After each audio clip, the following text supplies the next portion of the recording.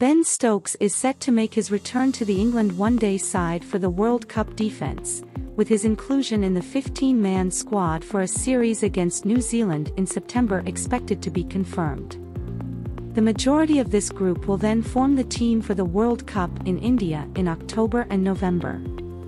Stokes, who retired from one-day internationals last summer due to the demands of playing multiple formats, continued to lead the England Test team and participate in T20 internationals.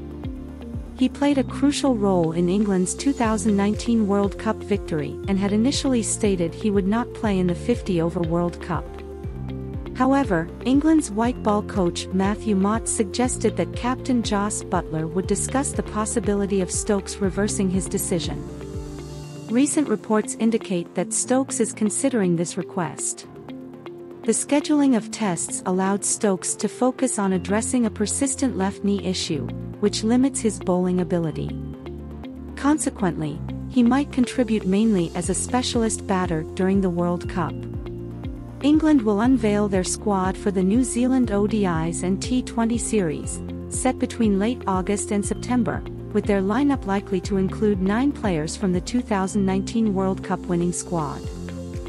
Following the New Zealand series, England will play Ireland in three ODIs. The team's World Cup campaign starts against New Zealand, mirroring the 2019 final. There's also discussion about the potential inclusion of pace bowler Jofra Archer, who has faced injury concerns since the last World Cup. England's squad for the upcoming competitions will reflect the blend of experience and new talent as they aim for another successful World Cup campaign.